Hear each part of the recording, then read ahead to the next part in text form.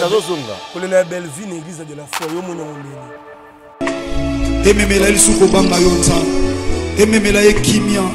ememela ye connaissance ememela ye sagesse nzambe ememela ye discernement ememela ye puissance na yo nzambe ememela ye nzambe humilité encore mon dieu parce que la bible dit l'humilité précède la gloire mais quand on fait des histoires faut faire avec mon cœur omoni mutu fu osala eloko nyonso je condamne pas la, la dame biloko asali coute sa pas elle maintenant kosaka exemple abandaki na église epa akenda na orphelinat peu n'importe motema koma modige omoni mutu mosusu tu peux faire des actions na motema na biso fezala pure pure naza na age na ngai wana baza baleki na ngai quand on dit sila bisalu leki na ngai aomi bdd kuta na information ngai namema bango sila ursile domaze la duchesse anse biso na afrique du sud na tourne ya 2009 à l'époque série wana na 2009 tala na série wana bazobrele na 2009 tala na mbula tokomi lelo à l'époque tokoki kosala un mois tourne na afrique du sud parceke ngai nakotala basala babese nga mikotela pa na sila non naza papa lui m'appelle papa tosala nanga video anniversaire anniversaire kuna bayaka yaka na bango ebele tala tokende pa passer na problème te passer aza nzambe te mitema na biso je suis pas contre eux okokende nga mpe nakobana nga mpe ndoki mo mpe edingo mpe akendani na kamba edingo akende mpe na kamba naza ndenge ya edi mais problème ya biso eza nini tolongola ba haine na mitema na biso ah, tokozala nazali nazali pede nazali lesbienne nazali sorcier nazali nani mais nake na ngai na église na buki na soko na buki mape bamona ngai matili mpo télévision de la foi kotalama na partout bamona ngai amaka ah, oyo osala na milieu artistique oyo osalaka ti lelo eza na nzambe azoba lelo ozoyoka papa na ngai na sa mabele moto moko tasala wana silaka wana loba no sila azobala ngai ntango basalaki bapolemiki bana na basi bafingi ngai mpo na mama makila oyo babengaka boye bafinga bafingi ngai mpo na mamba ya diamant abenga ngai na fona babi pourquoi toza reconnaissant toza bato toza reconnaissant mais oyo osalaka na mile na biso mhm. fotoloba no coup de chapeau tu prends ton temps ozwa énergie na yo ozwa mbongo na mpasi osomba cercueil okunda moto osala boye eza lipa na nguba te oza mpe na famille oza na bana otangisa na afrique du sud mwana na ngai azelisa komi docteur na biloko wana bifuta loba to batala mwa minimum ya respect wana sila na bie woni sila bisalu nganya nazwai na problème te wana franchement nzambe alola azoloka ngai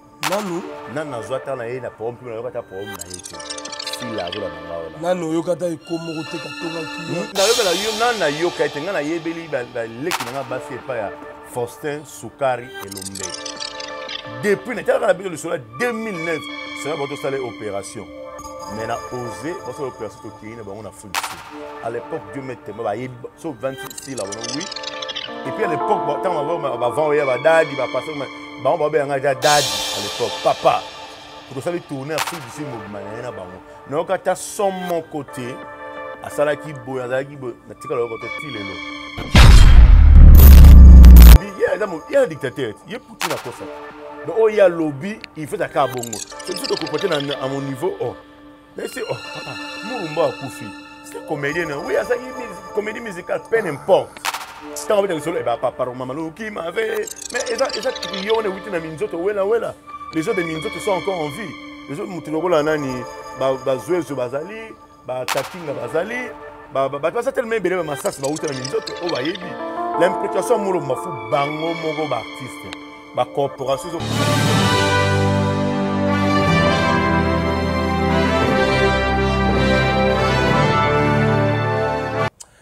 Voilà, merci à tous et à toutes. Euh, bon week-end chez vous, mesdames et messieurs. Euh, j'ose croire que vous allez bien. Shalom à tous et à toutes. Euh, bienvenue, Jérémy Louemba, les renards du désert. Encore une fois, devant vos télés. Donc, merci ya louison mbala de madrid mimi ndume euh, na bundes mimi ya bandume na allemagne wana tobosani te clotilde bondo le plafond de reine mama claudine luyeye l'honorable kino capte religieusement depuis kinshasa et pourquoi pas les célèbres dienzundu na washington on est toujours ensemble pour de vrai mesdames et messieurs avec euh, beaucoup de joie et considération nous recevons pour vous en ce jour euh, JP Massamba euh, opérateur culturel euh, mécène encadreur des artistes comédiens leader d'opinion tomeka mpe kosoigner par rapport makambo ezoleka lelo na monde ya théâtre Eh, makambo eza mwa ebele alors euh, ne zappe surtout pas rester scotché branché jupe masamba bonjour bonjour euh, jérémy euh, les renards du désert ouais euh, talaka renard na kati ya désert ndenge nini tokutani lisusu voilà mikolo ebele ouais ouais badéplacement bavoyage bon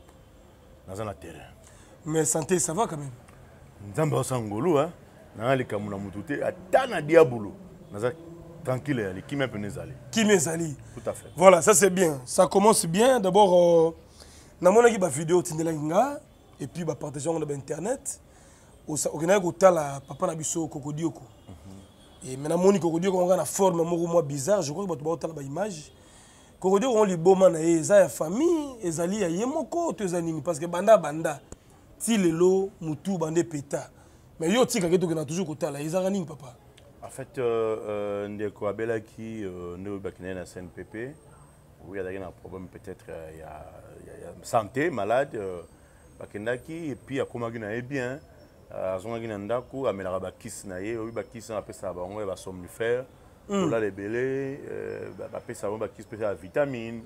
ata bapesi yo kisi ozolala epe ozomela na bavitamine donc akomi na kisi moko ya vie donc euh, eloko ezangaka nde kaka eza suivi ah. soki mpena malamu te ezali na ndeko soki suivi eza nango ya bien ndeko akose reprendre plus vite soki mosusu eyali peut-être oyeba asika aliaki esi amelaki kisi yango oui esi asameli ntina ye oui na midi esali ye fufu oui oyebi oui ou non soki suivi mpenza ya malonga ndeko na biso calende kokoshe aose retrouve bafaculté ne rapidement en place mais lokola mwa suivi mpenza mpenza malonga ezalaki te yango omonaki ngai nazosala tout le temps badescente je me suis engagé pendant bamoi nasala no descente sur ye natala évolution ta pendant six mois ou bien pendant trois mois je veux voir nde nzambe akopesa makoki ti soki ase rétabli namoni mpe makomi normal parce que tala ndenge abengi na nkombo na ngai je m'attendais pas batangi nkombo na ngai donc euh, moke moke bafaculté ezozonga soki ezongi nango je vais un peu stopper est ce que kokodioko azalaka mpe na famille aza na mwasi na bana oui aza na bana bon mwasi nde asala azalaka te mwasi akima oyo olobi mwasi azalaka susu te bana mosusu baapa mwasi mwana moko azalaka na ye na ndako wana epuis na cousin na ye patrick baza wana esika moko Voilà. Alors, yo zali mutu ozaka toujours na ba orphelin, ba veuve, ba maladie. Boni d'abord situation ba veuve ba artiste. To ba orphelin, mikolo est-ce que vous une nouvelle té? Euh, Jérémy. Mm. Baza bien parce que na moi na ma Rosa, moi ça il y a, y a papa Doudunga Fora, Andrada, tozalaki na toki na moi si papa chef Kalala, tozalaka na bango euh, et puis tozalaki la fois dernière na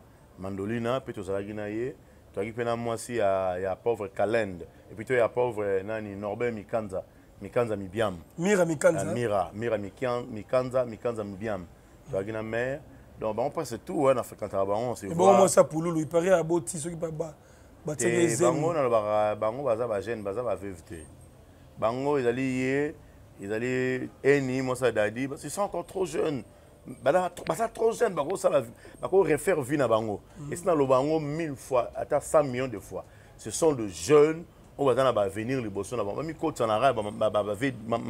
mama rosa te mama rosa aza mama na biso aza mama aza yaya aza nyonso vous voyez age nano ya mama wana bango nde babengi bango baveuve oyo mosoki mobali ozalaki na camarade na yo mobali bonovaa na ye akei tu peux refaire ta vie ah. il n'est jamais trop tard comment oza na une vingtaine une trentaine d'années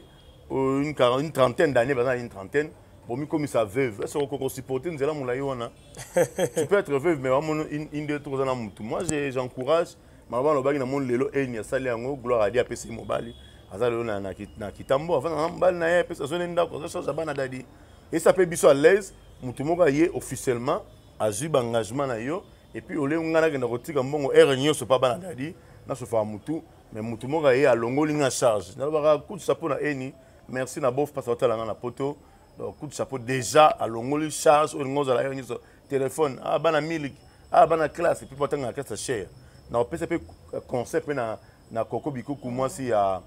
ya koko bikotele, bikotele, yeah. koko bikotele plutôt na mwasi ya, ya, ya pululu banova na ye moninga esi akei refaire ta vie refaire ta vie yo omona yango ndenge nini ndenge namoni jour mosusu namoni natali je m'excuse na télévision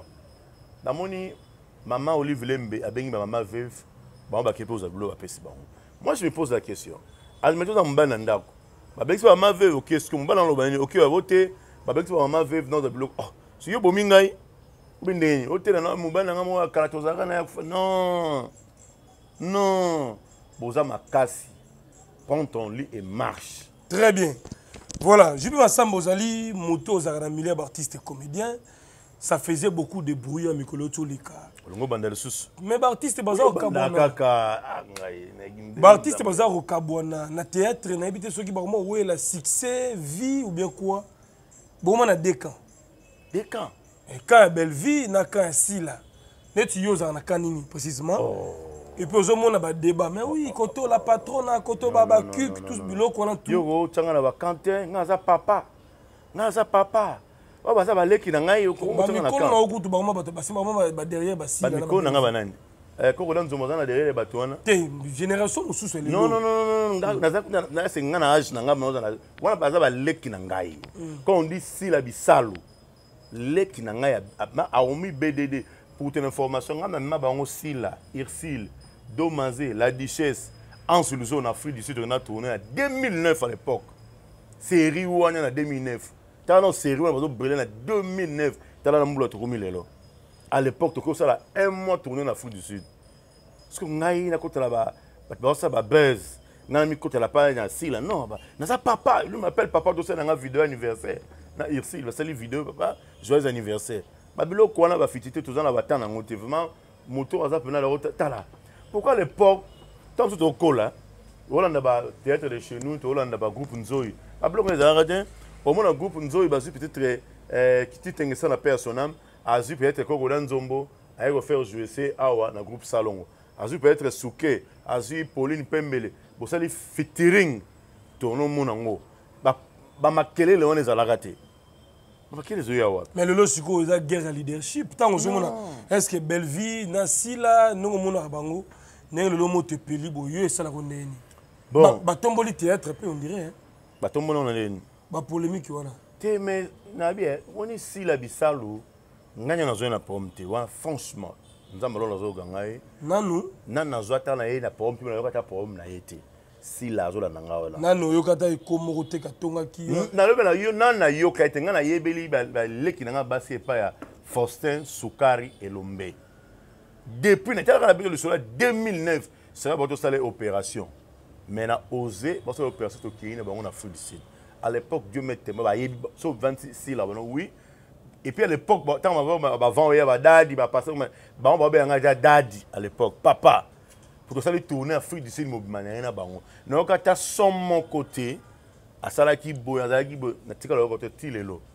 soki nabengi ye soki amoni appel manke na ngai soki nabaya tonzi akobenga ngai rapele ngai avec beaucoup de respect okabenga avec respect soki nanga mposa eloko na ye lot fala mpo soki eloko moko ntango biloko moko ezolekaleka abenga ngai entre guillemets abi papa bato bazoki bavaleur no te mpo ezanga kaka congo e makambo oyo osala na milieu artistique mpe osalaka ti lelo eza na nzambe azoyoka lelo ozoyoka papa na ngai na se mabele motu moko tasala yango wana sila wana loba no sila zo bala ngai tango basali ba polemique bana ba basi bafingi ngai pona mama makila o babenga ba finga bafingi ngai pona mamba ya diamant abenga ngai na fona bi pourquoi toza reconnaissant toza bato toza reconnaissant mais oyo osalaka na mile na biso mhm. fotoloba no coup de chapeau tu prends ton temps ozwa énergie na yo ozwa mbongo na mpasi osomba cercueil okunda moto osala boye eza lipa na nguba te oza mpe na famille oza na bana otangisa na afrique du sud mwana na ngai jeune akomi docteur babiloko wana bifutoloba to batala mwa minimum ya respect wana sila jour mosusu navanda taka bapolemiki oyo ursile mupesha abenga babengi mikolo mobutu dadi boni bien abi dadi nazonga na kote naloki video moko epesi nga kanda bana bacontrole nini ali répondre mafuta emati ngai mpo bazoyeba yo te na 2009 biloko oyo osala na monde artiste basala yango te odeplaça bango libanda papa nabimisa bango bavideo ezali nabimisa bango tomata avion awa wa serie wana ezali no grave mpo na baartiste ebele mpe na biso yo sila wata nanga mbala liboso babima mbala liboso babima 2009 azwi avion ake na pays étranger ntango bazongaka cotation matata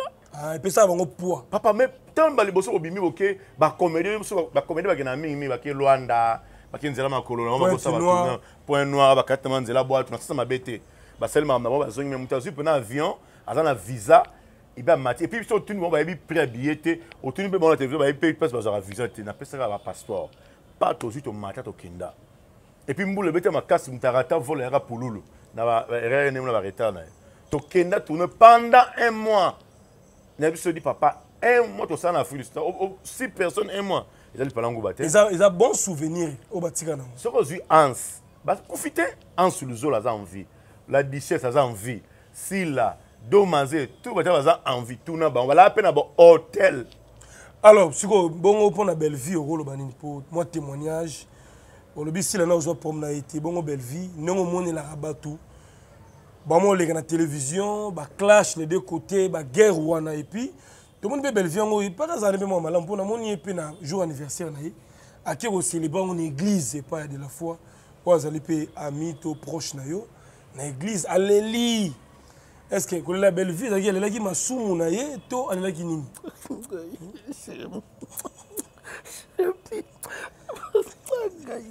obeke ezemi so na ye miso ye moko opesaka nga kanda ye moko osekisaka nga nayebaka te biloko yo kundola ozwaka wapi ah! napesi de la foi mbote nzambe wana azala na de la foi de la foi aza nga nayeba de la foi kala eh, de la foi nayebi ye lelo te nape nga nakomona mobima bato bacomprendre komone jean paul milanga jean paul milanga aza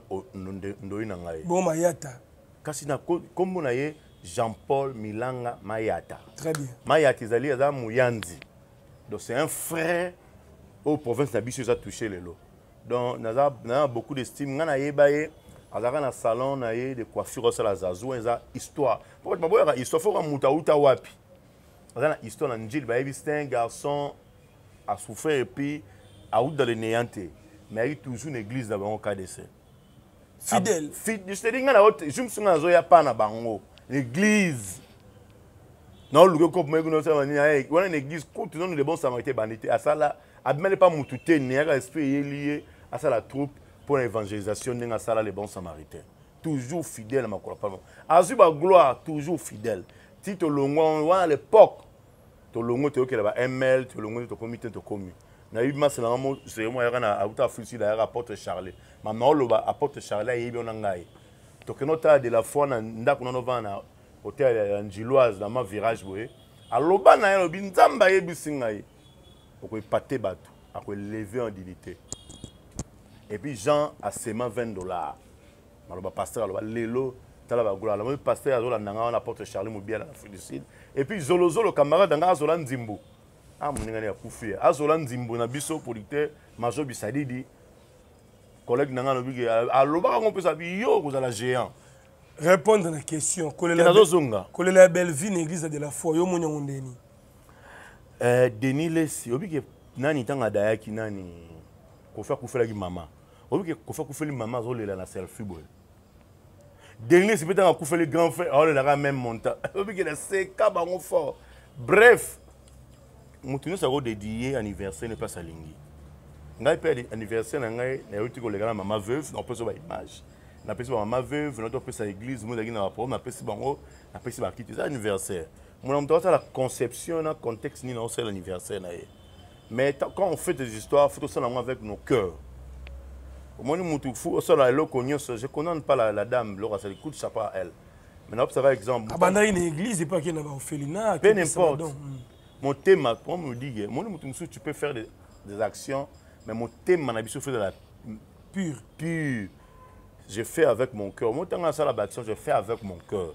soki asala avec son cœur coup de chapeau ngai naza nzambe te mpo nasonde motema na ye mais soki asali ndenge apo asala ye nde na nzambe na ye mais nayebi il faut faire quelque chose avec ton cœur coup de chapeau à elle nde namonaki olobi omoni asali na orphelinat eh, kingalingal mais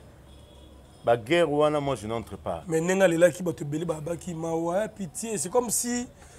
nde bateyaki bango ndenge de la foi apesaki mateya baconseil na baartiste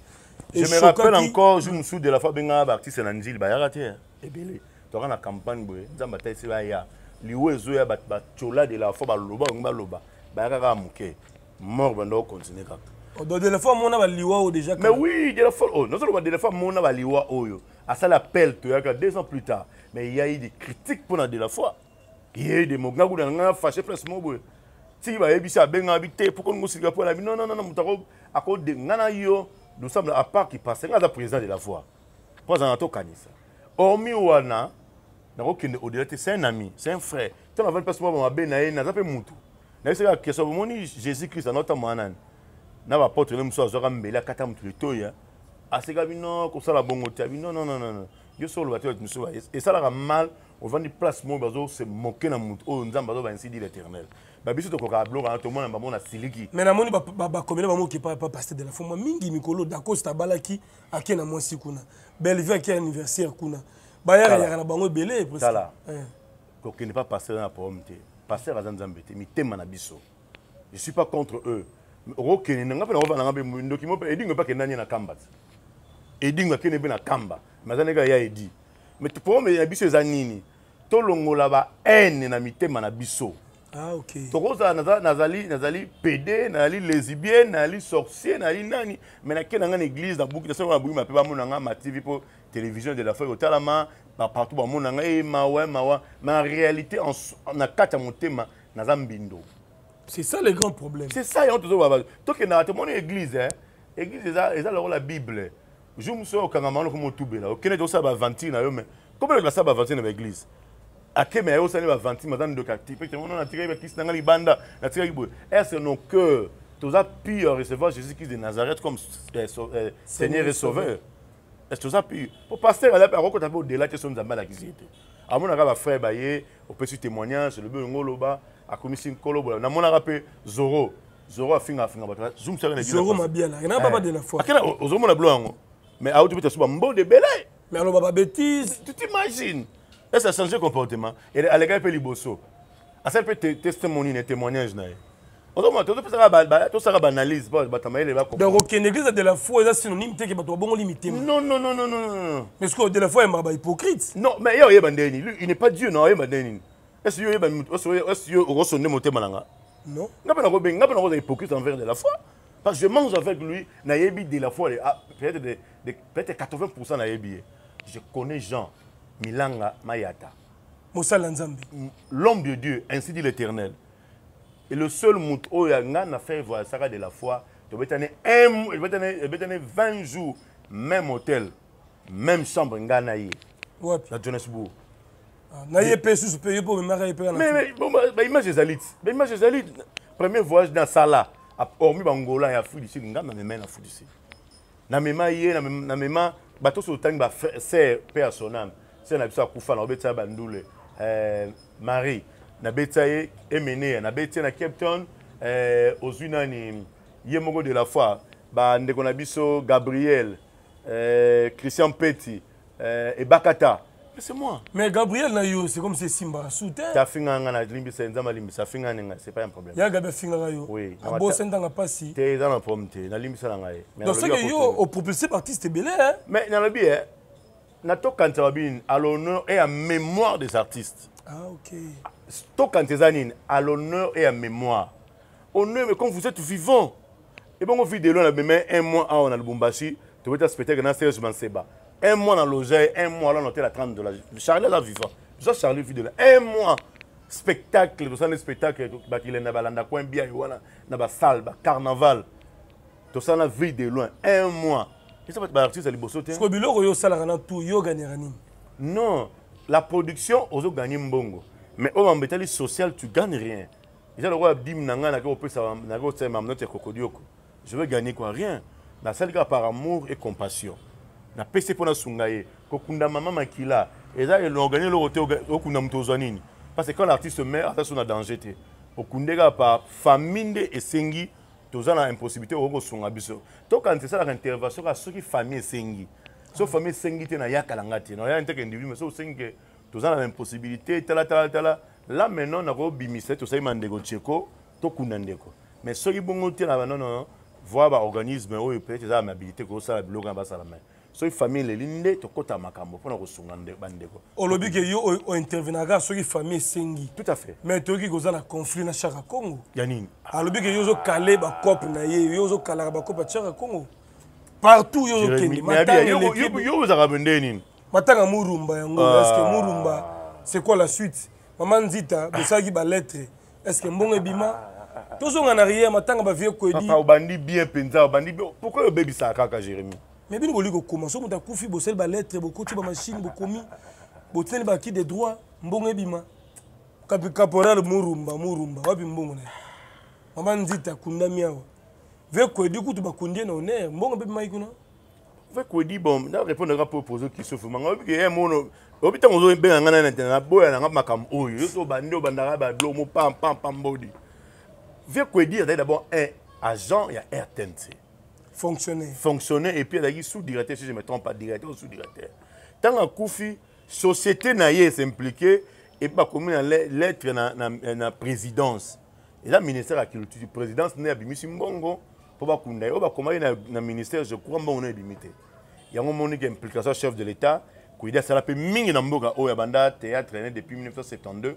déjà c'est un pionnier asala na bapapa kashala mpe alers ame abanda na 72 et puis asala epai ya ve na biso mongita na ba 74 et puis aye kointégre 75 nde 75 76 aye integre groupe euh, salongo donc c'est un pionnier oyo amaka époque na ye surtout na théâtre na 83 oyo ya mwana nsusu donc coup de chapeau à lui ye bamoni baimplike chef de l'état baimplike gouvernement bakunda ye eza pensa na françois sukala elombe mama mama nzita mama nzita akufi bana babengi ngai nakenda ye kuna totie bebe na morgue et puis le lendemain on a embaume la, la, la dame lokola mwana na ye asalaka epai ya françois sukala elombe euh, mais c'est l'avocat Maître avocat plutôt. Euh, maître akendaki kuna bakutani na famille ya sololi lokola aza na carte ya mutuelle de santé basengi na, na mama première dame mama denise nde abimisaki mbongo oyo akokunda mama nzita mambo ozoloba lision ya bamikomi ngai nakomaki te te mbongo eyaki famille nini teyebi bato bakomaki moto akomaki ezalaki ndeko shaka celui qui a écrit je crois mbongo epe ebimi te ti lelo akomaki na mwana toki na réunion technique anakisi nini mwana mante basepeli te bamonto batiaki wana concerne nga te eh, nanu bakundaki mpe te mbongo yango mpe nanu mpe bimi te je crois mbongo mosusu ebimaka sika ebimaka nsima tomona mama chaque ezalaki ba 30 quelque ya manzita ba 40 quelque seki ebima nango caporal murumba ye mpe kaka moto akomi wana fo oyambi na émission tu na ye bon depuis okomi caporal murumba mbongo ebimi bo ebimi te to caporal murumba ntango akufi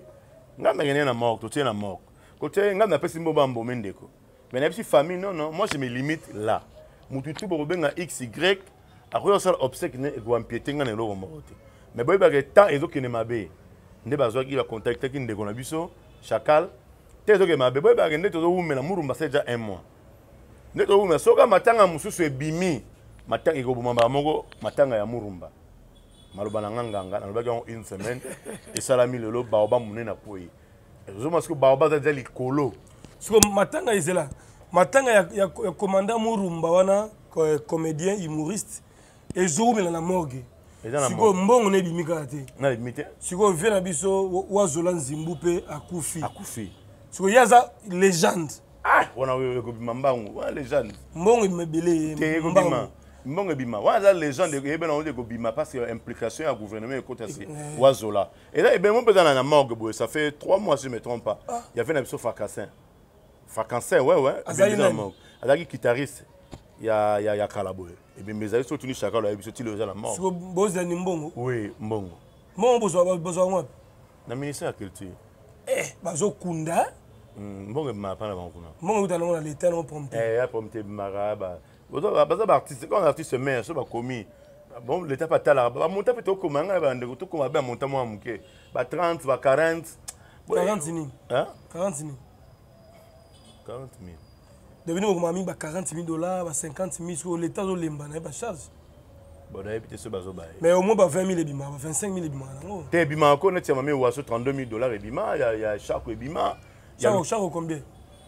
bakenda mpe ka bamontant wana bapapa wemba mobongo ebima toyoka ko bamilio na ba 70 000 700 000 toyoka eparaîtrait ozwi susu ya ve lutumba mbongo ebima ebele ebima nango leta abimisani mbongoneti ya ve verkis mbongo ebele azola mais sikoyo murumba ata 20 000 dollar ebimi te mpo bakunda ye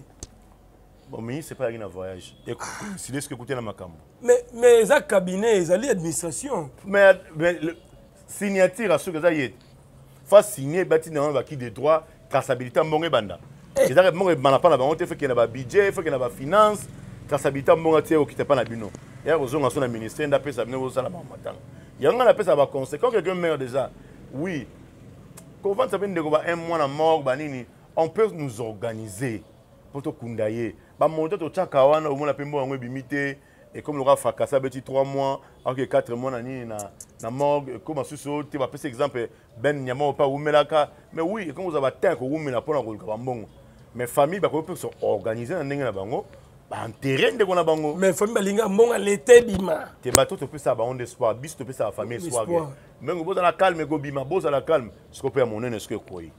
Fortune tokotika na ya Murumba tokolanda Baoba akwei mpo wana legende. Te ba vrais verkis matanga ndenge ozala ngo mpe temps. Bako ekosala même dans 2 3 semaines. Bako kuna na Murumba opa umeli. Bongo soki sikoyo eh, eh, apesi François sikoyo mboto soki asalaki intervention te na mama Denise te. Loto ngoza mpe na problème ya kaya mama Nzita. Mpe ngo oza mpe bongo. Mpo mama Nzita soki tozelaki mbongo ya ministère ti mpo ministre azongi ndenge ya 2 jours. ti lelo maanzi yanga aza na morgue mais gloire adie batindeli biso papa elombe aye wana ake akomeli eh, eh, ministère nini akomeli fondation denise niakere première dame mbongo ebimi bakundi mama oyo oh, mboka oyo soki te ayaki te je vous dis te sikoyo ebemi yango azalaka na morgue mm-hmm. mais oui parce que mbongo yango ozala te yango ozala na morgue parce que yo na chaka congo bokabwani par rapport ya nini te tokabwani te ngai tozala mpe tozali te tozala bacamarade te soki baassociate non non non non Problème eyali ndeko toza na ba problème mpe te problème eyali ndeko apesaka ba idée oyo ye alingi so motu moko yo biso te eza boye te ye wana nde asilikaka alinga oyo ye alobi oyo ye alobi ye na dictateur ti ye poutine akosa te donc oyo ye alobi il faut aka bongo so biso tokokote na mon niveau oh naye se oh papa murumba akufi c'est comédien non oui asaki comédie musicale peu n'importe ntango abetaka solo eba papa mama loki mave mais eza eza trio wana ewuti na minzoto wela wela les gens de minzoto sont encore en vie les gens moto lokola nani bazwezo bazali batakinga bazali bato baza telema ebele bamasasi bawuti na minzoto oyo bayebi l'implication molomba fu bango moko baartiste bacorporation ezokamba baartiste comédien yesu ko alingi bongo te ye akolinga te ndeko akolinga te so chaque alingi bamisele basunga te ye alingi ndeni ye alingi ye azwa so commande makambo nyonso boya bosala bosala oh. batia mpe ezalaka bele baesprit na bango po ntango obenga bayo obengisa nga na qualité de nini mpo mm. moto oyo akufi aza moto asala na régie des eaux yo kowa mbrasi nyonso te il faut biso ata régie tozala le devant tozwi yo toinvite yo tosala expertive mpe tosala kwa yo okomaka to chaque azali expert na bibembe fo boyokaka mpe makambo ya zoloba espere ya bibembe azalaka hmm? espere ya bibembe moto azalaka ebongo yo jour ya okende mpo moto aza libanga na se na moi aza te bongo jour ye akokende ah, yango shar kongo auta kolela dynamaki bakomende batilaki ye poison non poison eza te papa oh, shar kongo auta olela nabi ale na émission ndenge nini bino bakomende botieli shar nani akotiela ye poison yo oyebi chakal te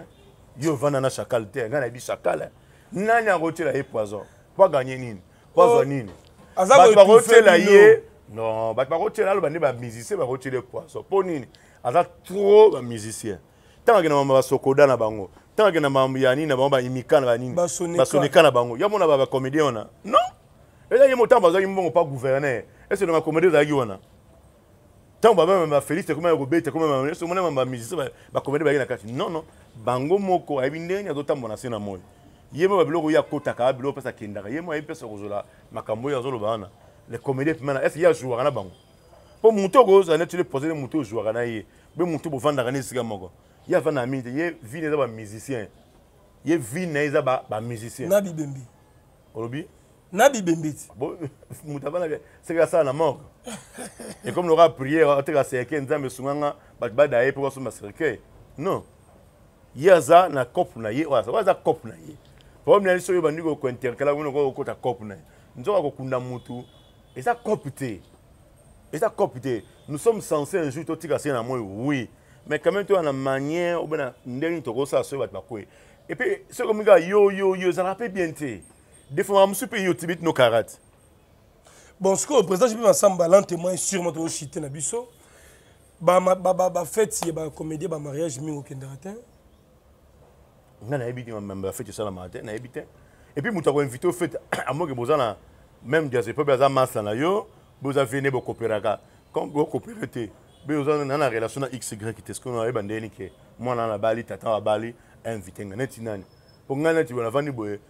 ursile asalaki fete ya monene oyo asalaki mopesa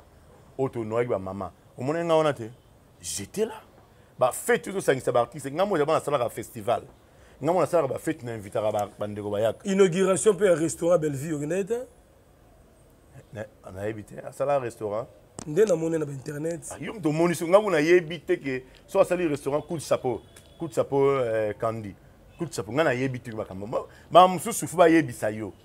tozalaka bima trop trop internet te foyeba ke eh, basali motu moko asomi ndako motu moko asali agence naoyeba ngo nde nini fo motu apesa invitation ah yaya naza nasali lolo na ngai nasali ah bon nde namona na ursule isala abenga ngai ah dadi boni nasali loko moko boyeboyeboye mo ndenge eh, eza ndenge nini napesi mpe idée ah c'est bon c'est bon ah yaya namoni mpe eh, nakoinvite oyo ah boso naza libre nakoya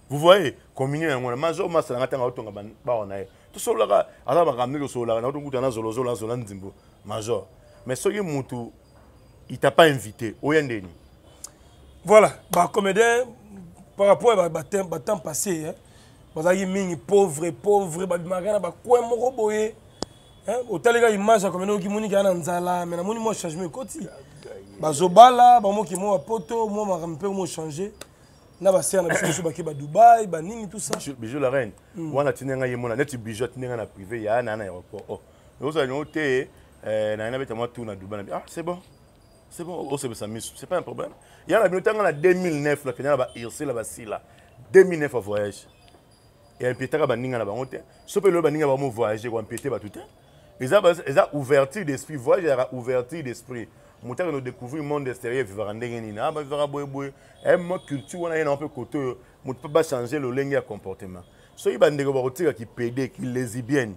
kindoki kila sorcellerie kipoison na milieu wana eza coup de chapeau we kokende dubai eza bien kodécouvrir bamonde extérieur bavivaka ndenge nini basala yango nalobaki ntango namemaka bandeko na 2009 à l'époque ba ursule basila badomaze ba anse ba la duchesse bamona mabe te biso tozala eh, problème na biso yali nde balongola baesprit baza na yango ya haine sorcellerie ki lésibienne ki pédophilie balongola na monde wana monde ya balongola mpe poison esprit wana kobima moto ntango biso tozalaka kala na basele masasi oyoka biloko oyo te eh. omonaka groupe ayekaka moko mibale misato eyeke nango vie eza nango normal mampeza nango normal kila donc euh, bon séjour à dubaï na bijou la reine hein? ah, tout à fait aza mwa mopepe ya dubaï esala bien aza mopepe alors jupi masamba c'est vrai bato batali biso de partout à travers le monde entier théâtre eza milieu ya baréalité ebele mais bogéraka bango quand même botikaka bango te toujours ensemble Et, mais ce qui est important bakomede bayeba mpe koluka elonga nzambe tomonaki oyo akufaki na, na kan kokolaso madeso ya pembe mhm. akufaki mpe kaka briske kaka boye ça fait tellement mal alors euh, un message clé na baamoureux na bafan na théâtre et puis numéro ya contact na yo eza affiché c'est vrai mais dicté bango yango pour des questions suggestions euh, peut-être baproblème mosusu bato bakobenga mpe mpona kosolola quoi oui merci beaucoup euh, naa na ngomba kinshasa puis 243 89 89 97 076 plus 243 89 89 97 076 alors nasengaka kaka na bandeko oye basala pratique wana ya toke vers décembre euh, toboyi tolela lisusu nayebi ke tokolela soki otiki te ngai nayebi ke tokolela mais soki yo change nayebi ke tokolela te vraiment tobongo na mitema tozala amour sincere babi aimons nous réellement vivant botala baliwa ndenge ezo koteya biso na milieu artistique tokufeli vekuedi tokufeli tobandi tokufeli awa eh, cheko matondo vekuedi madeso apembe eh, eh, mama nzita kapora murumba na moko akufaki lisusu na njili bauti kokunde resama na petit mosusu acteur akufaki na njili atumbaki ye yaya fo eteya biso fo eteya biso bacomportement lolenge ya kovanda na se na moi oyo ya oyebi mokolo tobotama neti ngai nabotama dimanche le 16 octobre me mokolo wakufa ngai nayebi te yo na ngai mpo otala ngai yo mpo oza na date oyo obotama me mokolo oyo okufa oyebi te peyeke na nsima otala video oyo okufa peyete apres oyo kozala susu te me soki obongoli motema ndima peyete nzambe akoyokela omaka kosala ngolu tokende église te mpo tobalasaka bafilme biso bamonani monde entier na ya kobondela mais kende amène ton cœur motema fila la pire et puis totika poison totika sorcellerie totika kilesibienne surtout na monde oyo totika surtout poison haine et la sorcellerie omona ete basali na bango balobeli na bango yo te mais okozwa delix otie micro orépondre moto nasengi yo droit de réponse te nayebi mpe mpe te orépondre ngai eza kita yo soki obonga na motema c'est bon soki obonga mpe motema mpe te nzambe kazalo merci na bato nyonso B'artistes oyo babali ezala libala moko ya malamu, longevite na bino, bonne chance. Merci na b'artistes nyonso oyo bazo fete na octobre lokola ngai. Eh, Nzambe azala na bino. Bato to ba fete na octobre. Lelo Elko mutu na ngai, Elko joyeux anniversaire na yo. Ngai moko pe joyeux anniversaire na ngai pour le 16. Merci na bandeko nyonso batindi ngai video. Merci ba Mongita, merci Koko Danzombo, merci Olga, euh, Mongita, Merci Clemence Massamba, ma femme. Et puis merci na bana ngai Jessica Massamba, Resnel Massamba, Roberto Massamba, euh, famille théâtrale Mobimba, tokanisa Mobimba, artiste nyonso RD Congo. Euh, merci na bino na basoué, merci na Tobolin, merci na bato tout oyo basoutenir ngai de près ou de loin. Et puis merci na Koko Che, Koko, euh, Koko Dioko, a souhaité un joyeux anniversaire déjà avant.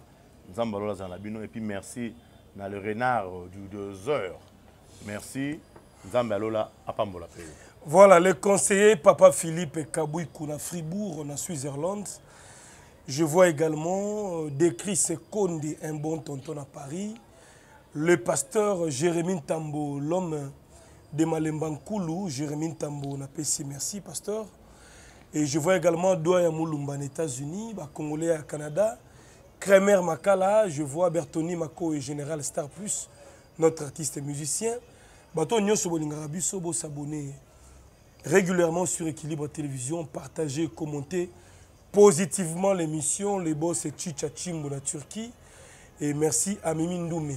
Na Bundes Nadine Maïfoui la qui séjourne à Kinshasa. Sema Mayasi, nous vous saluons. Bandeko tout bolingaka biso, ya Luizombala de Madrid, Bobo Batombo. on vous aime beaucoup merci chris mbaya derrière la caméra et à la grande équipe technique bye bye et à bientôt